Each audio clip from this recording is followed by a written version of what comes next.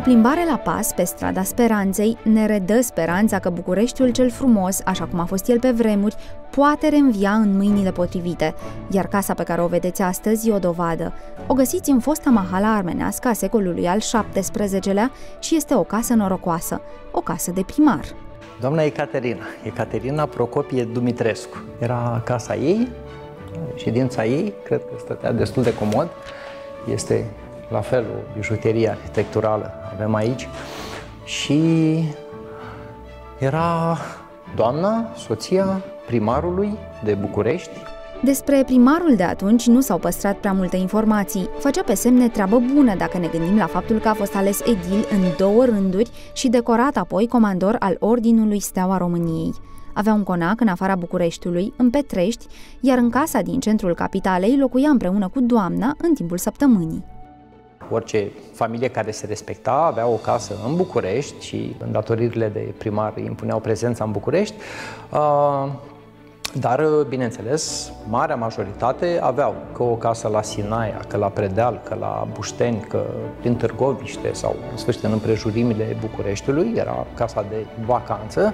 Dacă erai și uh, moșier uh, și aveai terenuri, domenii, bineînțeles că aveai și un conac. Suntem într-o casă de 1000 de metri pătrați, cu o curte foarte frumoasă, un teren de aproape la fel 1000 de metri pătrați, dar absolut impresionant Uh, este interiorul, într-adevăr, care s-a și păstrat și a și fost restaurat, după cum se vede, uh, de foarte bună calitate. Aici se luau deciziile referitoare la capitală, spuneți. Domnule, probabil se sfătuia și domnul primar cu soția în decizii. Casa doamnei primar Procopie nu a fost ferită de traseul complicat al naționalizării cu tot ce a însemnat el. Statul îți confisca, ok, uh, casa. Și tot ce era în casă, de aia din păcate s-au păstrat foarte puține elemente mobile în imobile. Pentru că se venea, se strângea absolut totul, se ducea unul din centre, un centru destul de important în care, un depozit în care uh, erau duse tablouri, mobilier, tot ce era în casă, uh, era undeva la uh, piața, uh, piața Cogălniciană, să spunem. Și acolo se depozitau. Și erau cu niște bonulețe, se făcea un inventar, bineînțeles. Uh, și se repartizau. Locuința se repartiza. Câte camere are? 10 camere. Deci vor locui 10 chiriași. Pe baza unui bon te duceai la gestionarul uh, patrimoniului efectiv, vă dați seama ce era în acele depozite? Și spuneai, vreau o lustră, un șifonier, un pat, trei tablouri, așa au ajuns să posede lucrări de o valoare excepțională, uh, lucrări de, de artă din diversi proprietari, noi proprietari în sfârșit, bine, nu erau proprietari, că era închiriat, tot de stat erau și lucrările respective și și toate, toate obiectele, ți le aduceai, îți făceai casă. Nu era un apetit prea mare acum să iei un tablou de Grigorescu, de Aman, al fostului boier în care casă tu locuiai, pentru că nu prea știai tu despre ce e vorba.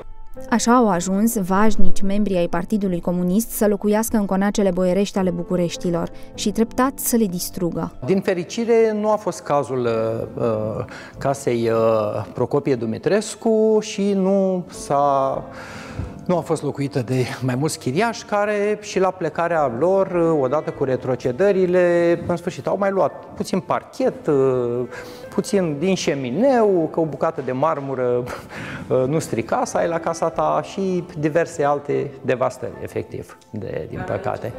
Dar aici a fost, a fost altceva, într-adevăr. Casa Procopie nu a ajuns din fericire pe mâini nepotrivite. Ultimul chiriaș a fost un diplomat care a prețuit-o la adevărata valoare.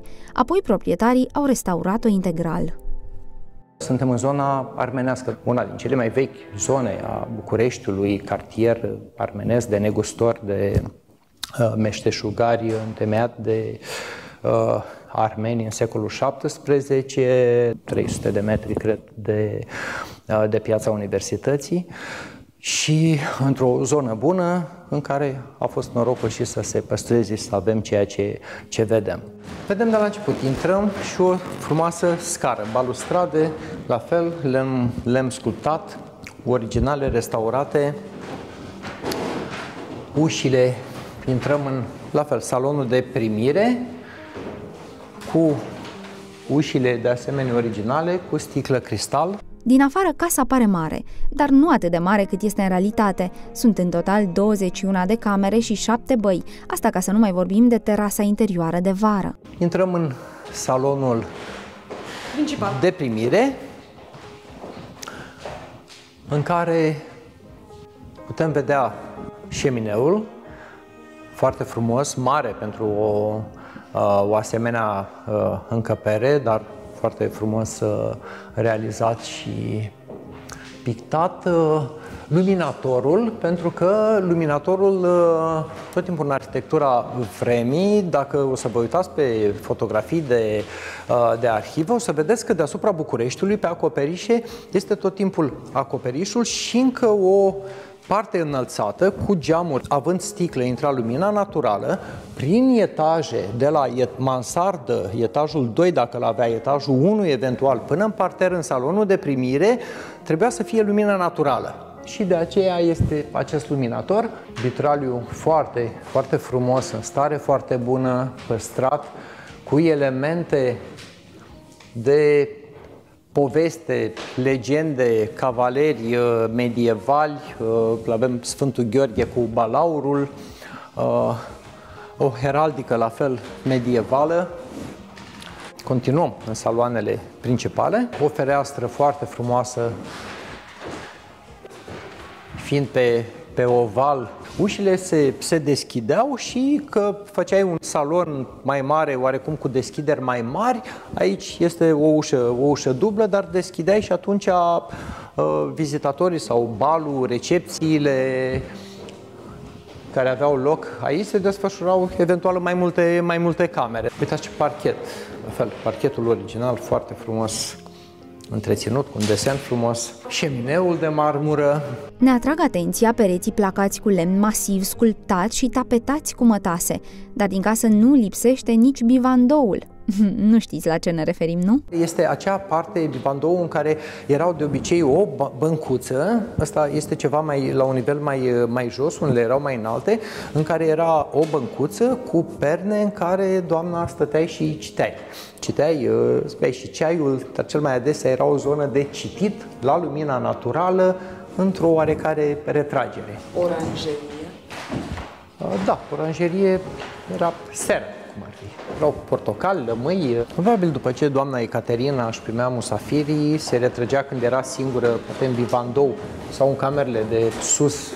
Cel mai probabil uh, erau uh, mici copaci arbuști exotici, un portocal, un lămâi, uh, în care, de care aveai grijă, era o mică grădină interioară. Ca în orice casă care se respectă, zona de primire a invitaților este bine delimitată de cea în care familia se retrăgea în intimitate, la etaj. Asta era scara principală, e scara principală a, a casei. Și am ajuns la etaj, dormitorul cu mic șemineu. În anumite case mai avem uh, o zonă de spectacol. Eu, uh... în care era că se cânta, uh, că se uh, recita, că era o serată culturală. În puține case s-au păstrat uh, dressingurile. Categoric, în orice casă toaletele doamnelor, sunt convins că toaletele doamnei Prima. Ecaterina nu cred că era tocmai de neglijat. Rochile de bal sunt în celălalt uh, dulap. Dar mândria proprietății rămâne spațiul exterior, la fel de bine conservat și... Că... Și spuneați că avem o curte deosebită.